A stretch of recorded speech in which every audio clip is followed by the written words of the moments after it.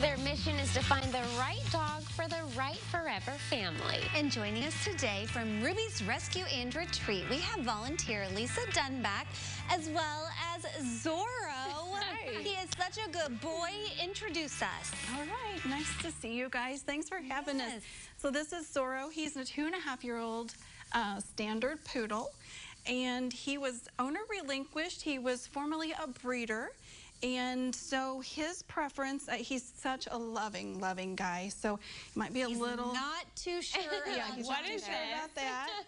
yeah, he's backing down a little. Um, but he, so he has so much potential to be a sweet, sweet boy. I mean, he constantly comes up in my face and, and wants to be loved on. He's not exactly excited about smaller animals and male animals. So, so possibly He's the alpha dog. He's the alpha, and he wants to be in charge. Yeah. So maybe an uh, an only pup home, or maybe like a larger with a female or something. But but he's a good good boy. He's a great car rider. He had a fun time coming over here. Would go back and forth to the windows, say hi to all the truckers. Yeah. And then I told him he gets ice cream after this. So he's like, yeah. He likes the that he likes the music. So I mean, he's had all kinds of fun experiences today. He, it's so funny because just watching him with you all hour, he's like, he's like the type that can't get close enough. He's Yes. like, love me, be right next He's to going to me. be great, isn't he? Someone's going to be so lucky to get this guy. And So- what I love most about poodles, I'm not a big fan of dog hair places. You got it. These are like hypoallergenic dogs, right? Poodles Hypoallergenic. are. Exactly. Don't no shed. shedding. Rarely smell unless they go rolling something that they shouldn't. um, and he's and he's. I mean, this is just the best fur to love on. You know, because it's just curly and soft. And he's being a little shy. He might be tired. He hasn't made a peep. Yeah, that, he's so I haven't quiet. heard him bark. Uh-uh. No, he's a good, good boy. Oh my goodness, Oh. he's He's a so good boy. calm. Yeah. Yeah, such Okay. good demeanor. We need to check out some of these other dogs that Let's are up do for it. grabs. They're at Ruby's Rescue because they are equally adorable. She's got so many great dogs. This is Kaylin.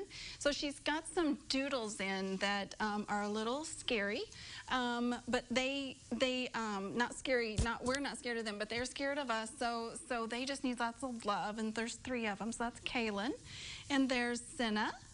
And aren't they gorgeous? They are so cute. I Little love- photo shoot too. And I, they know. always send these beautiful Miss photos. Sheila, I saw them today, and oh my gosh, they're gorgeous. They look so shiny and soft, Aw, so oh, So sweet. sweet. Those are beautiful, and they look so happy. Oh, and there's another Oh, that's one. a cute name too. There's Scotland. Yeah, I love their names. Yeah, you, that's a great name. Okay, Oh, who's this one, smiling at us. That is Smiley, and I'm not sure of his name. I saw him today, and he was smiling like that at me today Aw, too. He's so photogenic. Yeah. Yeah. ready for a home. Oh, my word. So I did see this puppy today, and he and his mama are just the best of friends. And so she had a litter of five babies, and so she, uh, he is the last one left, and they were loving on each other today. So we'll see when he goes. I'm sure she's going to be heartbroken, but she needs a home too. Yes.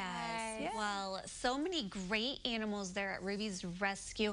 What else is happening this summer? I know 4th of July is coming up, and that's kind of a, a tough time for our, It- our furry friends. It really is, and that's one time that we got to be very careful about. If you've got dogs that are afraid of fireworks or loud noises, you know, try to get your windows shut. Try to distract them as much as possible. Some people talk to their vet to see if there's some medication that they can use, but you know, it's it's much better to if folks are thinking about buying fireworks, please consider buying food and donating it to a rescue in your area, because we'd much rather make a difference than make a noise.